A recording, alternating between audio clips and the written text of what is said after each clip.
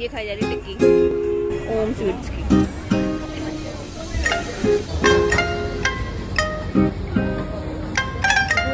की